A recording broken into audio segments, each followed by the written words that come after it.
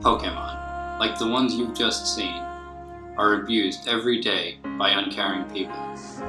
For as little as one dollar, you can help change the life of one of these poor creatures. Please, call the number on your screen and donate what you can. With your donation, you will help the PETP provide food and protection to these mistreated and undernourished Pokemon. Don't wait. Call now, and you too can be a hero to a Pokemon in need.